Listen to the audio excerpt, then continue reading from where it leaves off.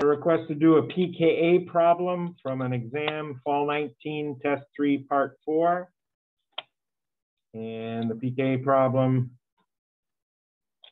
has as follows. Uh, we have to fill in the missing piece, so there's a lot of missing pieces. We have to calculate pKeq and KEQ for each of the parts. One, two, one, two, uh, that was two and three and four. Four pKeqs here. And we're gonna put pKa's, circle the favorite arrows and be done with it. Uh, nice little start here. Uh, we're gonna use MTSOH right here.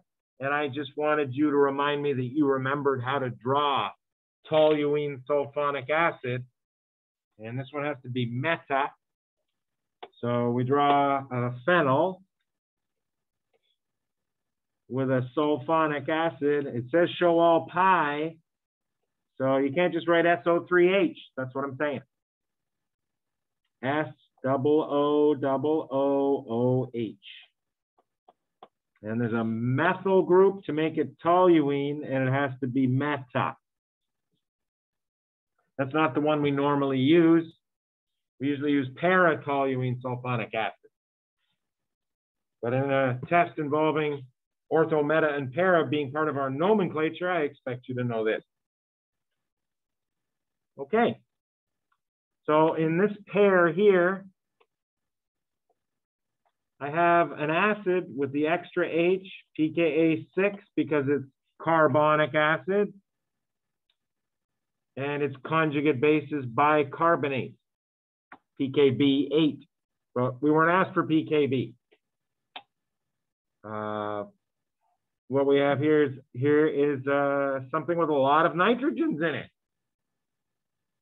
If you had to classify all the nitrogens, here's the classifications. This area here is an imidazole. This one right here is an aniline.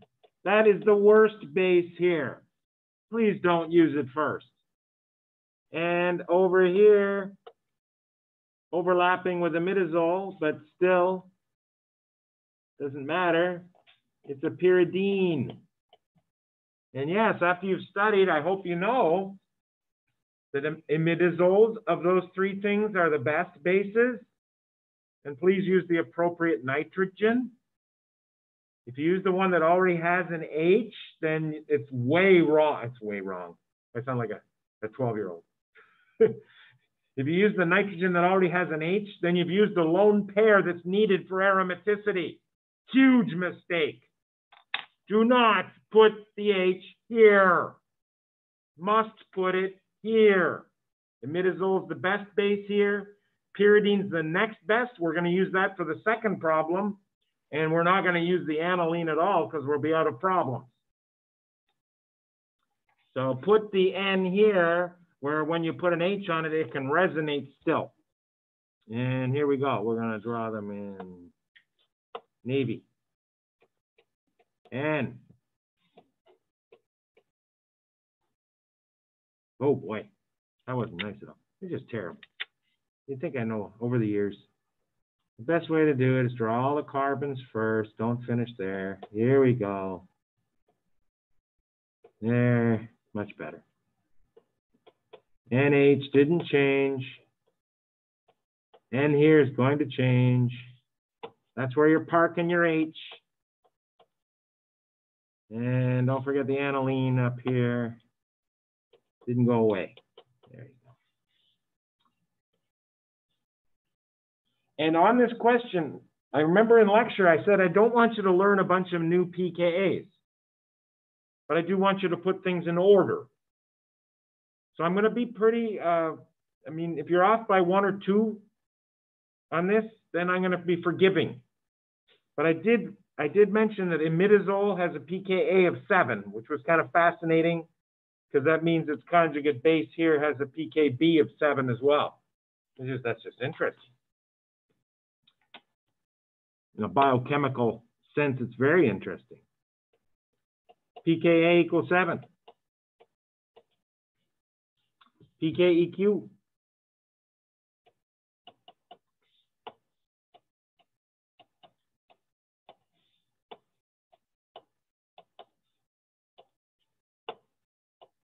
There you go.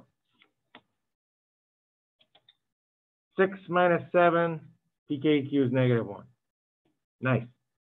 So equilibrium favors products just a little bit, 10 to 1 ratio. Here's your easy arrow. As long as you get your PKs right, this is like a bonus point. Even if you have your PKs wrong, as long as you had the higher number on the right and the lower number on the left, you still get a bonus point. MTSOH, that's a strong acid. pKa is negative 5. I'm pretty sure we're going to circle the forward arrow again. We don't have anything less than negative 5. We're, go ahead and circle the forward arrow. That's the forward arrow right there. And our best base now is the pyridine, right here. So, so we can become a pyridinium. Pyridinium.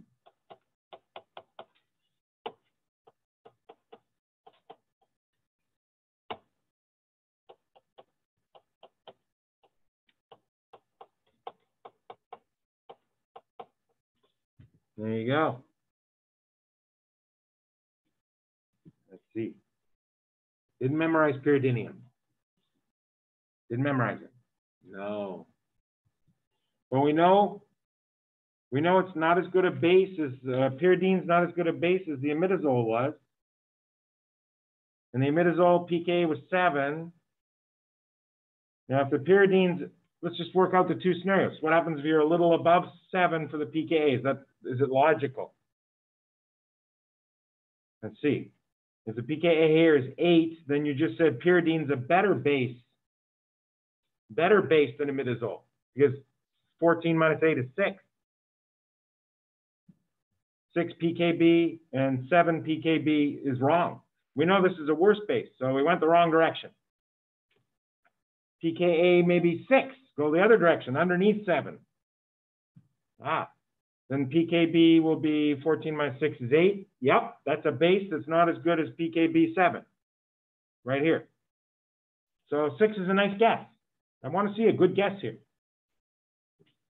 Some of you are going to go home and say, he doesn't want us to memorize them. I'm going to memorize them anyway. It saves me a lot of time. Not a bad strategy. Okay. So PKA 8 here would be a good guess. I'll even say it's an estimate. There you go. PKA is 8. And yeah, PKEQ PKEQ equals reactant acid minus product acid negative 13. pKa here, 8. Means pKb of this thing is 6. Wait, did I go the wrong way again? I did. I used my first scenario instead of the one where I corrected myself. Oh, thank you for pointing that out. Yeah, I went the wrong direction. PK is six. Oh, that eraser's too big. Should listen to myself more.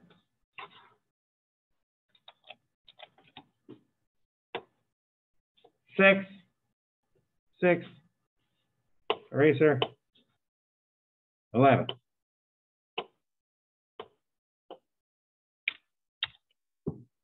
Good. And we do all the parts? Pretty sure. And then we get into a different type of acid base with uh, primary, uh, tertiary, and secondary ammoniums. Best base. Secondary amine. Okay means its conjugate, its conjugate is a weaker acid than tertiary ammonium.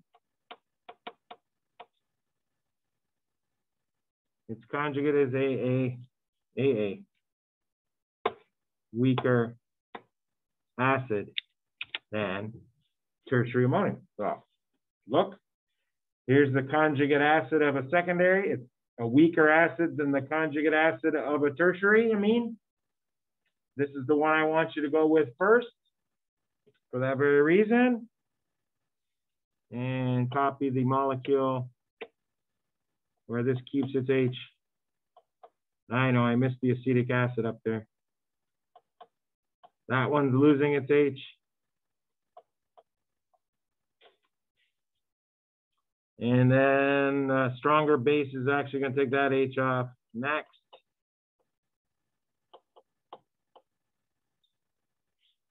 And AC is this. Oh, Lewis structure. Oh, getting harsh here. Got to show every atom, every bond. That is a blast from the past, I hope. Every atom, every bond, every lone pair. That is Gilbert Lewis's legacy for us. Here's the AC part.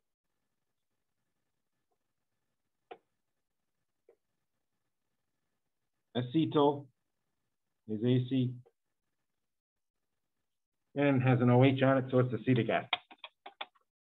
And the pKa of ACOH is 5. pKa of an ammonium ion, 10. That's one you did memorize. pKeq, 10 minus 5. Uh-oh. So finally, we have a reaction that's going backwards.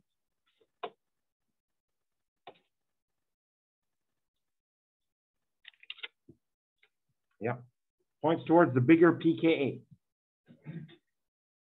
And next up, we're going to have another pKa 10.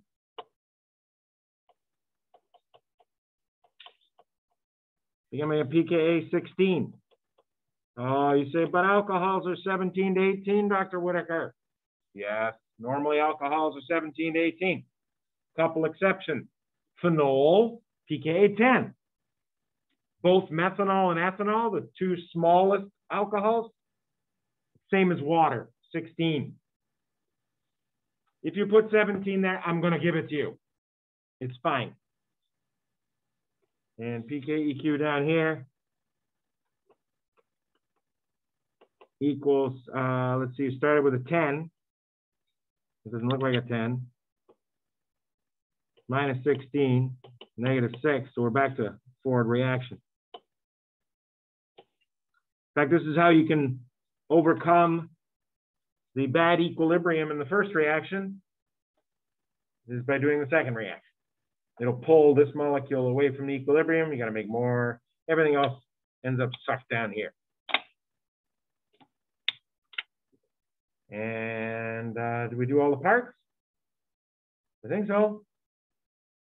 Uh, sort of air boxes, yeah. PKAs, mm-hmm. Circling arrows, uh-huh. And PKEQ and KEQ. Oh, we didn't do KEQ at any time. Oh, oh. We didn't do KEQ. That's not a bad one. KEQ is in green.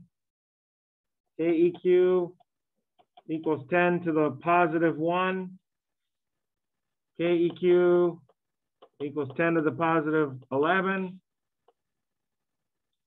KEQ equals 10 to the negative 5. It's always the negative of this answer here. Keep in mind that those two are related. And here we go. KEQ is 10 to the 6. Now we've done all the parts. And done.